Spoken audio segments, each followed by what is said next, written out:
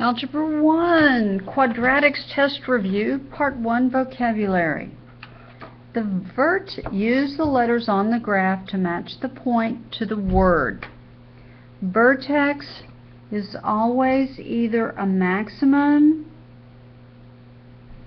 or a minimum.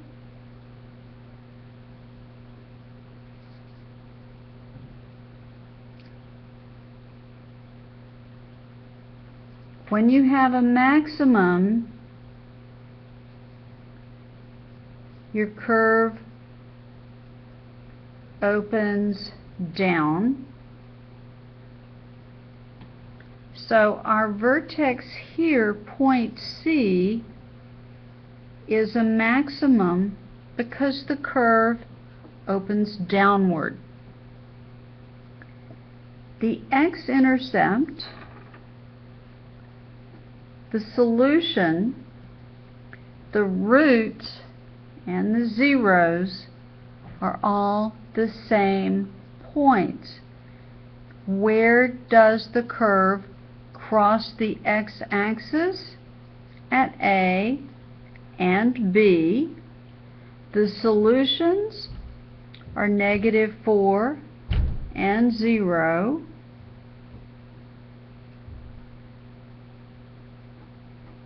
Those are the x-intercepts.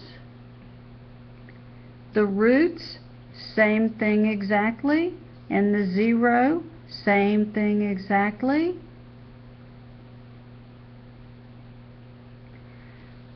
We have four different words for the same idea because parabolas are a special case.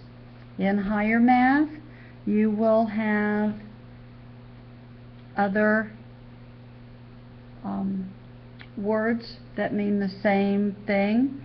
This is just a strange case. The maximum here is also the vertex. It is point C. Here is the origin. The vertex point C is negative 2 positive 4. The ordered pair for the vertex is negative 2, positive 4.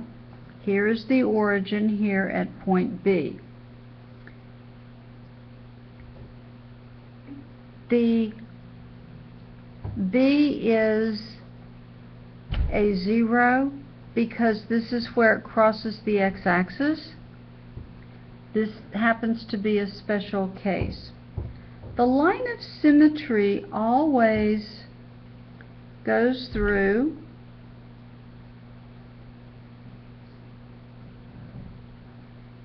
the line of symmetry always goes through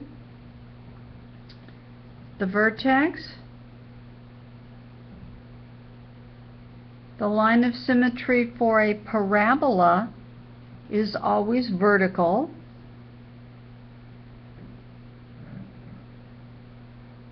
Here it is line D. The y-intercepts, where does the curve cross the y-axis? Only one point at 0, 0. The equation for the line of symmetry is this line here. Well, what is the equation of this vertical line? Well, do we have a special um, point for y? No, y can be anything. Do we have a special value for x? Well, yes, we do. x equals negative 2. We see that this line of symmetry is the x-coordinate for the vertex. The ordered pairs of the x-intercept are negative 4, 0, and 0, 0. Give the domain and range of the given function. Domain is all possible values of x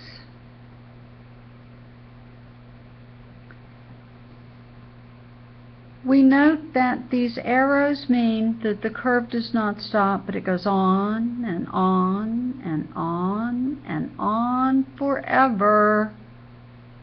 So, if we go for long enough, eventually it will go to infinity, both positive infinity and negative infinity. It will go on forever and ever.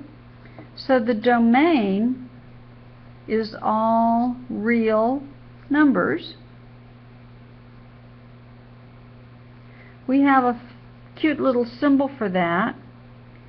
Two vertical lines and a capital R. The symbol means all real numbers. What is the range of this function? Well, is it also all real numbers? Ooh, not so fast. The range is all possible values of y.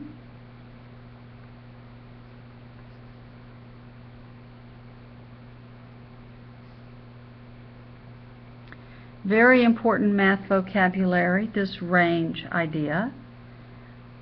Well, if it were all real numbers, then y could be 5 or 6 or 10, but that's not how it is. y is less than positive 4.